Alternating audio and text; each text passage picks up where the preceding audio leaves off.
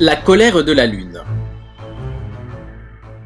Elle bouillonne intérieurement d'une colère froide. Elle serre les dents, crispe ses poings et essaye d'attendre que son interlocuteur finisse son laïus. Elle en profite pour ordonner ses arguments les contrer. Seulement la sentence se termine et elle est congédiée sans possibilité de se défendre. Elle essaye de protester, mais son adversaire se détourne d'elle en faisant la sourde oreille. Elle enrage et sort en fulminant. Cette ordure de soleil a osé la traiter comme une moins que rien ils ont toujours eu une relation ambiguë entre subordonnés et passionnels. Au début, elle n'était que le miroir de sa lumière pour éclairer la nuit et tenter de rendre le monde moins sombre en son absence. Mais il y a eu rapprochement petit à petit. Une histoire d'amour slash haine pleine de passion et de rebondissements. Mais celui-ci est de trop. La lune le sait. C'est le point de non-retour qu'elle s'était vue prophétiser il y a de ça longtemps par une étoile filante perspicace. Elle sait donc ce qu'il lui reste à faire. S'échapper de l'emprise néfaste de cet astre imbu de lui-même et destructeur. Le plan est risqué, compliqué aussi,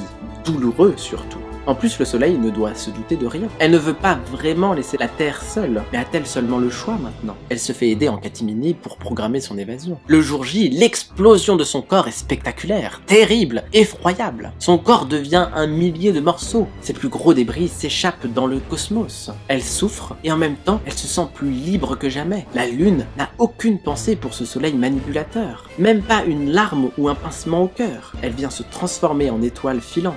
Sa conscience éclater ainsi en plusieurs morceaux. Elle va enfin pouvoir explorer cet univers qui lui semble si vaste et si enrichissant, en toute liberté. Ses dernières pensées sont pour ce qui va vraiment lui manquer. Adieu terre et humanité, je suis désolé. Fin et à la semaine prochaine.